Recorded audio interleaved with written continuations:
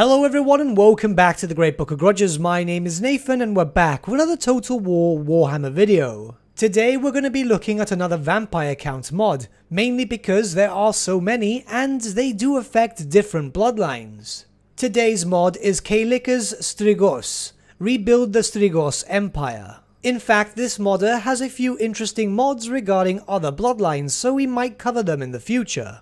The mod itself has a bit of backstory. Ghoul King Vorag Bloodytooth has led his army to build a strong fortress in the Plain of Bones. Hearing of Vorag's achievements, King Ushoran saw the hope of rebuilding his empire. He returned again and finally recovered Morgheim.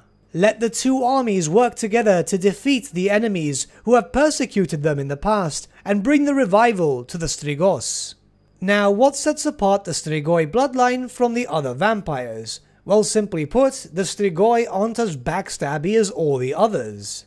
Despite their appearance and, well, sometimes insanity, the vampires of the Strigoi bloodline seem to be more level-headed than all the others. In truth, even Ushoran, the brother of Neferata, and who is considered to be the first Strigoi vampire, wished to form a kingdom for all vampiric kind. This was after the fall of Lahmia, where many of the vampires had found themselves being hunted like dogs and spread out through across the Warhammer world.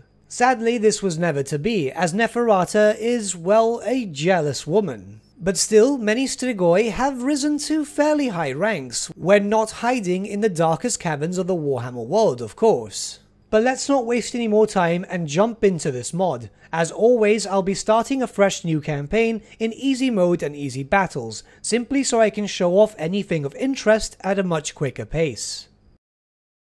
The campaign begins in the Marshes of Madness, where full control of the province has already been gained. Straight off the bat, we will notice that there are a few unique landmarks, all of which provide some benefits for the faction in one way or another. It's only a shame that you have three unique landmarks, and the capital city itself only has 8 slots. If you build all three, it takes you down to just 4 slots if you include the main settlement building. Just a personal thing here, I wish that the modder would have updated the main settlement to be a 10 slotter, especially since this is a 2 settlement province. The mod itself also has a few other unique buildings which provide either new units or new benefits. In all honesty, you only really need these buildings, especially if you want to have a roleplay type of campaign. If you only want to focus around the Strygos themselves, you don't really need to build any of the vanilla buildings. But bear in mind that a lore-friendly Strygos army is rather limited. You'll still be able to do a decent amount of damage, especially early game, but you might find your units lacking a little bit once you start getting into later game campaigns.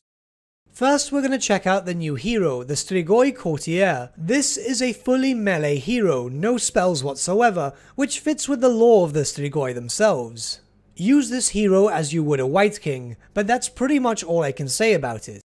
And now we'll look towards the first of two legendary lords, Ushoran, the first of the Strigoi. This is your main legendary lord throughout this campaign, and to be honest, the stats themselves represent quite well. He's not great, but he's decent enough, acting as a triple threat in terms of campaign ability. A decent melee lord who should be able to hold his own when fighting against others, a fair amount of spells in all honesty, nothing too great, but then again, Spirit Leech is always king here and a decent amount of unlockable skills which we're going over right now. They vary between self-buffing or buffs towards your natural army, which is fantastic as it is. Most of them buff up Ushoran himself to make him more of a powerhouse, but you have some which reduce upkeep of say for example Crypt Ghouls and Crypt Horrors. In all honesty, the legendary items themselves seem a bit too overpowered. But then again, since the majority of your army is pretty much no armor whatsoever and not really that competent in melee combat, I guess this kinda levels it out?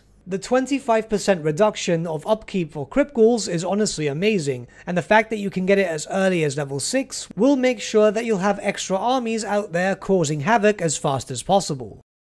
As stated before, we also have control of the Plain of Bones, two armies, two kingdoms. On easier difficulties this might not be a problem, however on harder ones, say for example very hard or legendary, it might be a bit too difficult to control two separate areas. Sure they might be relatively close to each other, however there are a few possible enemies within the way. Either way, something like this does present an interesting challenge, especially for vampire count players, who, let's be honest, after a certain point, the game becomes more of a steamroll more than anything else.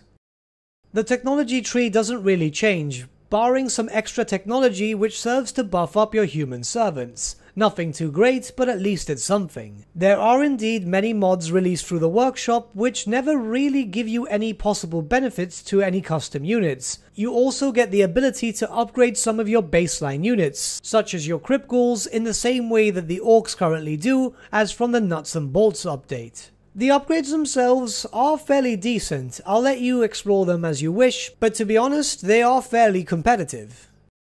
There isn't too much in terms of mechanics or new units and so on. Instead, this minor type of mod is there for you to have a unique roleplay experience more than anything else during your campaigns. Unfortunately, unless I'm completely blind, it seems that I can't use these units in custom battles, so instead I've decided to have a proper battle against one of the orc nations near me and go over more or less what would be a lore-friendly army for the Kingdom of the Strygos. So as you'll notice in this army, there is a decent mix between Crypt Ghouls and peasants.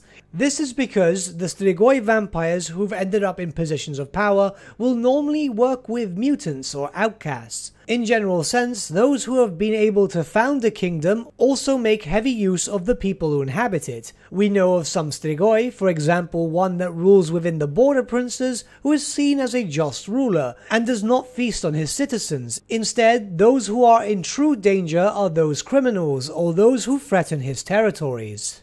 So this mix in terms of army composition can be considered quite lore friendly. You wouldn't be using a lot of skeletons, zombies, graveguard and other types of undead units, simply because the Strigoi themselves are more primal. They are some of the most physically powerful vampires to walk upon the Warhammer world. However, the obvious drawback here was that they weren't very competent at controlling the winds of magic. Physical strength is the most important in this army, so loads of ghouls, monsters, and some peasants, and you're basically just fine. This was a rather enjoyable mod. In all honesty, I'm a big fan of these smaller types of mods, the ones that add in just a few things here and there in an effort to just give it some flavour and add in the possibility for the player to have a role playable experience.